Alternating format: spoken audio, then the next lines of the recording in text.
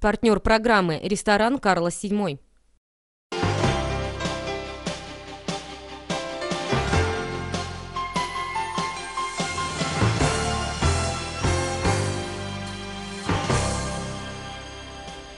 Здравствуйте, в эфире новости на телеканале АТВ в студии Анастасии Лисовой в начале о главных темах выпуска.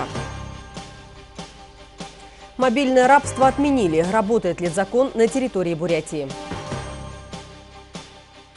Возгорание мазута на Улан-Удэнской ТЭЦ-1. В республике прошли очередные учения МЧС.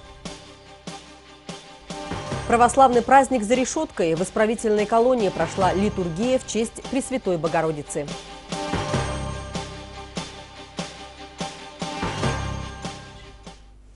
Грузовикам запретят ездить по улице Иволгинская. Новое правило вступит в силу с 10 декабря. Запрет будет действовать только в дневное время. Объезд для большегрузных машин организован по федеральной трассе Иркутск-Чита, затем по Мухаршибирскому тракту, следуя к улице Бабушкина. Запрет будет действовать э, с 7 утра до 22 вечера. Госавтоинспекция Республики Бурятия требует соблюдения правил дорожного движения от водителя данной категории транспортных средств. В противном случае за несоблюдение правил дорожного движения водители будут привлекаться к административной ответственности. Запрет не будет распространяться на грузовики силовых и специальных структур, а также автомобили, обслуживающих коммунальные и аварийные объекты. Отмечу, что новое постановление – инициатива городской администрации. Серийному убийце вынесен приговор. Верховный суд республики приговорил 51-летнего Кигашбека Арунбаева к пожизненному заключению. Следствием и судом установлено, что Арунбаев совершил три убийства на территории Бурятии. В последний раз его жертвой стала жительница Нижней Иволги, которая наняла его для ремонтных работ. О том, что следствие столкнулось именно с серийным убийцей, свидетельствовали многочисленные факты. У всех преступлений был одинаковый почерк. Со своими жертвами злоумышленник сначала знакомился, распивал спиртное, затем вступал или пытался вступить в половую связь. В двух случаях женщины ему отказывали, поэтому после убийства он совершал надругательство над их телами. В одном случае после интимной близости он задушил потерпевшую, подумав, что она похитила у него деньги.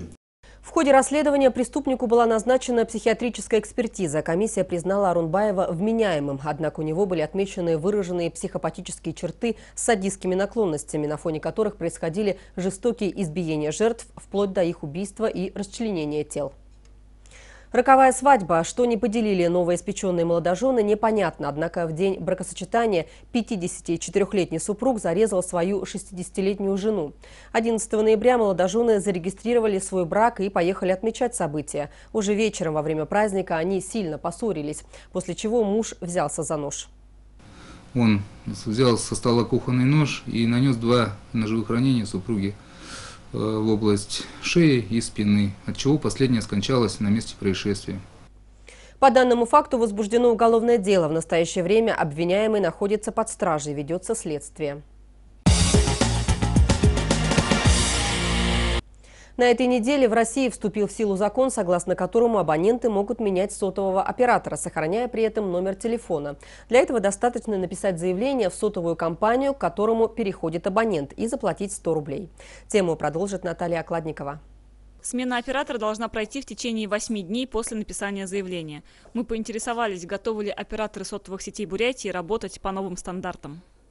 Сеть Мегафона полностью готова к МНП. Мы провели все изменения э, сети и можем как отдавать, так и принимать абонентов.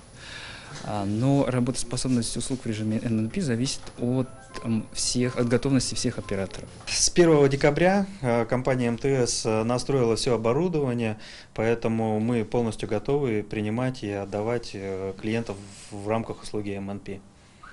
Между тем, ранее абонентов уже предупреждали, что на первом этапе могут быть сбои.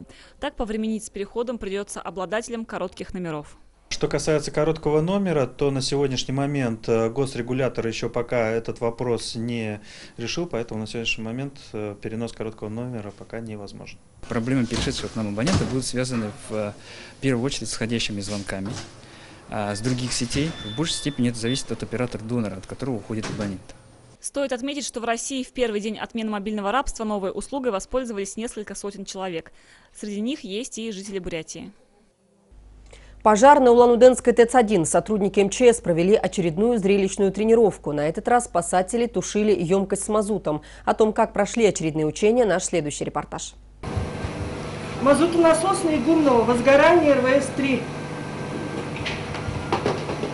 Это один из самых сложных сценариев, которые приходится отрабатывать нашим спасателям. По легенде, на насосно-мазутной станции произошел пожар. Загорелась емкость с мазутом объемом 5000 кубометров. Каждый год на разных объектах Лондонской ТЭЦ-1 производятся подобные мероприятия. В этот раз выбрано а, один из самых сложных участков – это емкости с мазутом, которые теоретически могут загореться. 245 горит ЖВС-3 объемом 5000 кубических метров. А рядом находится еще два резервуара. Техники следовать по третьему номеру условно. 521. Потушить такой пожар нелегко. По степени сложности это один из самых трудных сценариев. Для того, чтобы справиться с огнем, потребовалось 14 единиц техники, включая две автолестницы. Да, сложно. Потому что это нефтепродукт, а температура вспышки большая, а, и тушить а, водой не получится. То есть тушить надо специальным раствором, раствором пенообразователя. Всего в тушении пожара участвовало 46 человек личного состава, и хотя с огнем справиться удалось, по словам технического директора ТЭЦ-1, замечания и недостатки все же были. Но как раз для того, чтобы их и выявить, и нужны подобные учения. Байер Цыдыбов, Наталья Домбаева, Алексей Ионов, Первая, Альтернативная. Во сколько обходятся чиновники Бурятии? Последние новости из коридоров власти в нашей постоянной рубрике «Официоз».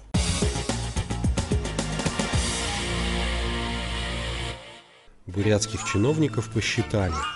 В Бурятии 11 800 чиновников, сообщает Байкал Дейли со ссылкой на Бурятстат. Это почти 3% от всего трудоспособного населения республики.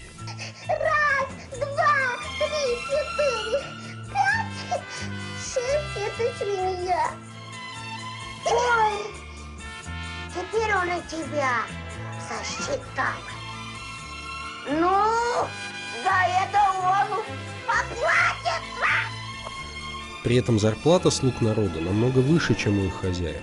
Так, например, в федеральных и республиканских органах власти она составляет более 40 тысяч рублей в месяц, а в органах местного самоуправления более 26. Казалось бы, не так уж и много, но это, что называется, средняя температура по больнице – Доходы высших чиновников в десятки раз превосходят жалования мелких клерков. Так, например, согласно официальной декларации, нынешний мэр Лануды Александр Галков заработал в 2012 году 3 миллиона 185 тысяч рублей, то есть примерно 265 тысяч рублей в месяц. Заметим, что мэром он стал лишь в конце прошлого года. Надо думать, что после этого его зарплата только повышалась. Очередное дорогое авто за счет бюджета. На этот раз отличился фонд обязательного медицинского страхования. Чиновники от медицины желают получить к Новому году подарок – Nissan Tiana и непременно с круиз-контролем, электропакетом и аудиосистемой с шестью динамиками. Стоимость хотелок – более миллиона рублей.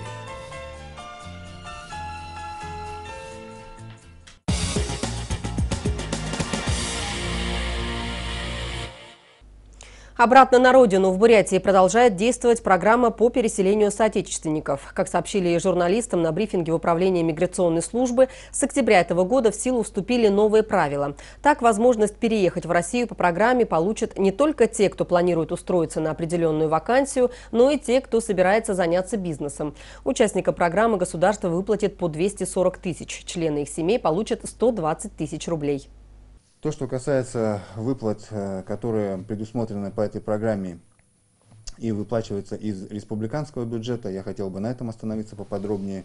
Это э, значит, выплаты, компенсационная выплата на, э, по найму жилого помещения. Мы компенсируем в сумме 550 рублей в сутки, но не более 6 месяцев. Мы понимаем, что не, скажем так, не все у нас отечественники такие прямо добропорядочные. Есть же, понимаем, да, что из корыстных целей хотят стать участниками. Для того и созданы условия принять, э, участия в ней, чтобы отсеять как раз-таки тех, кто, собственно, Российской Федерации пользуется вообще никакой не принесет, а только урон. О своем желании переехать в Бурятию заявили 150 соотечественников. Отмечу, что они могут выбрать для проживания любой район Бурятии, кроме Тарбагатайского, Иволгинского, Акинского и города Улан-Удэ. В Улан-Удэ состоялось торжественное собрание, посвященное Дню юриста. Этот праздник возник относительно недавно, в 2008 году, по распоряжению президента России.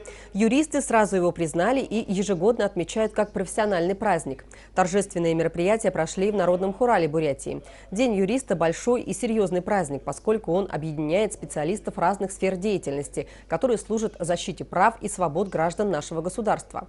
Основная цель профессии – восстанавливать законную справедливость. На встрече отметили, что это сложная, ответственная, уважаемая и почетная профессия. Разрешите мне поздравить вас с этой круглой датой, 20 лет принятия Конституции.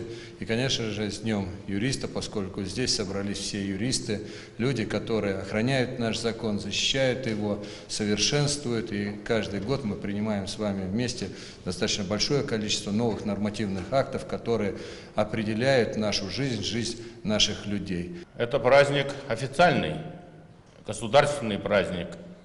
Он назначен указом президента Российской Федерации и как особый знак заслуг юристов перед государством. Это такая отрасль, без которой, я думаю, не обойдется ни одно государство.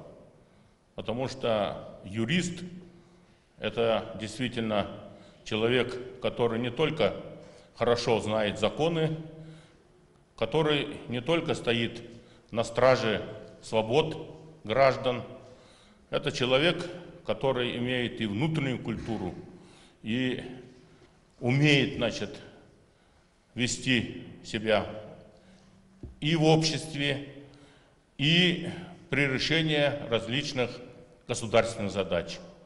В рамках встречи грамотами и ценными подарками были отмечены лучшие юристы республики. Кроме того, были расставлены приоритетные направления работы и перспективы развития отрасли. Мы присоединяемся к поздравлениям, а наша съемочная группа вышла на улицу Улан-Удэ и собрала поздравления для юристов от наших горожан. Пожелать, ну как и всем здоровья, удачи, счастья, богатых, щедрых клиентов. Ну, я не знаю даже. Всего самого лучшего, наверное. Чтобы все в жизни было хорошо. Хорошо работать.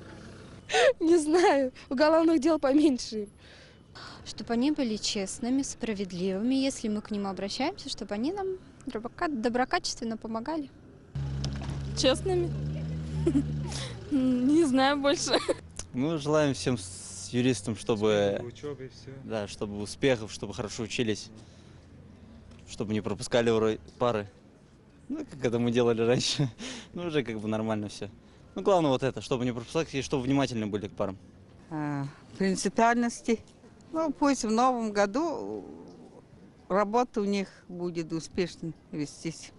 Были, чтобы справедливые. Всего наилучшего, чтобы у них все было хорошо. Православные всего мира празднуют сегодня введение во храм Пресвятой Богородицы. Именно в этот день избранную Богом трехлетнюю Марию родители впервые привезли в Иерусалимский храм. По всей России в честь этого знаменательного события проводятся молебны. Не стало исключением и маленькая церковь в исправительной колонии номер 8. На литургии побывала и наша съемочная группа. Благослови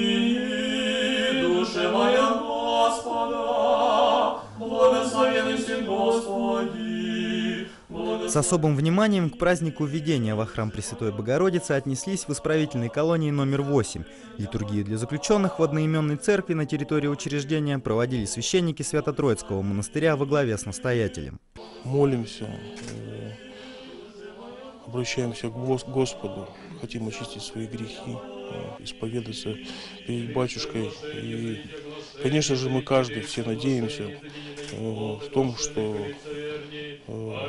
придет очищение души нашей.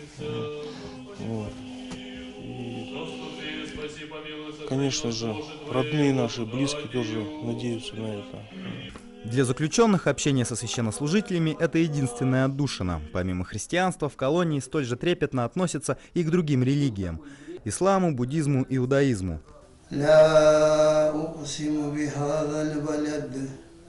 وأنت حل بهذا البلد ووالدي وما ولد Многом дает духовное воспитание верующим, опять для становления на правильный путь. Аллаху дает, Аллаху дает. Со слов духовных лидеров, верующих в колонии много. Для всех заключенных, кто хочет обрести Бога в своей душе, здесь всегда открыты двери. Баир Цыдыпов, Александр Хамаганов, Первая, Альтернативная. Первый Дхарма-центр Бурятии открылся в Улан-Удэ. Идея его создания родилась у известной общественницы Даримы Самбуевны Цингуевой давно, еще при основании женского буддийского дацана. Правда, она не успела воплотить ее в жизнь, покинув этот мир. Продолжили благое дело ее близкие и неравнодушные люди. Об открытии места для просветления наш следующий репортаж.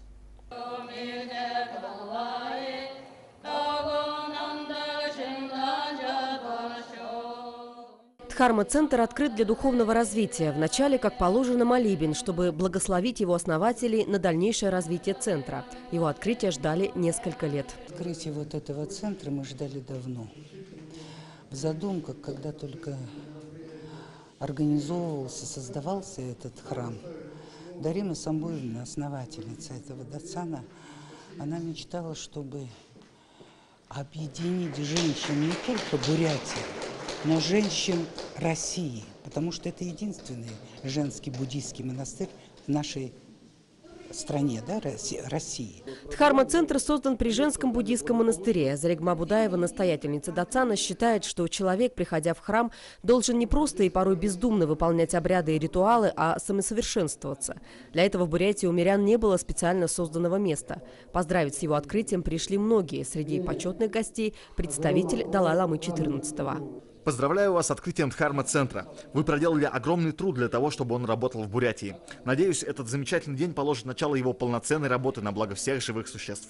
Этот центр не просто дацан для ритуалов. Это центр, где люди будут обучаться, знакомиться с философией буддизма.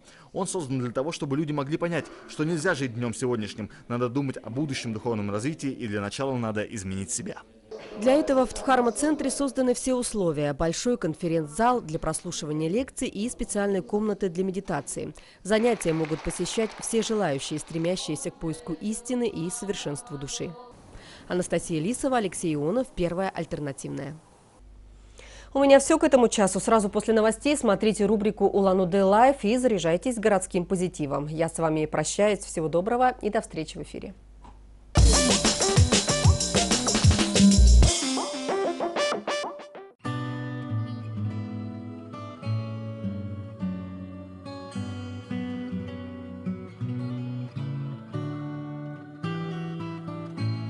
Средневековый Новый год в замке у Карлоса VII для настоящих рыцарей и их прекрасных дам. Будет весело.